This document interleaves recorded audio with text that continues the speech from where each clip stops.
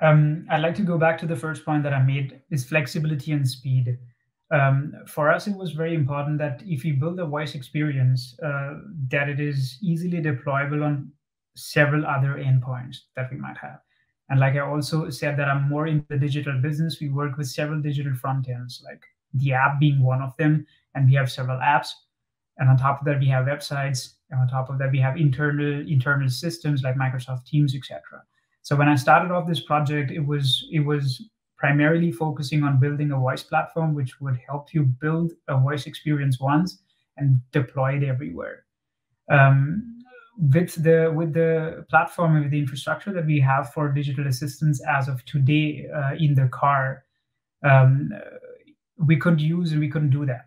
And this was the biggest inflexibility that we had with it, and therefore we decided to to to look at something that does fit does fit what we have set um, um, set for us as a goal. And uh, I think at that point, uh, was a fitting solution, and uh, it was actually it actually offered the the ability to build the voice experience once and deploy that uh, at different endpoints. So it was a natural choice. Yeah.